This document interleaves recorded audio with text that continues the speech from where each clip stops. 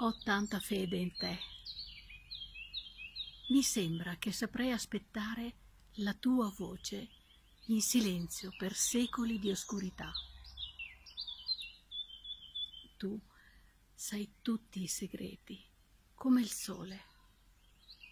Potresti far fiorire i gerani e la zagara selvaggia sul fondo delle cave di pietra delle prigioni leggendarie. Ho tanta fede in te.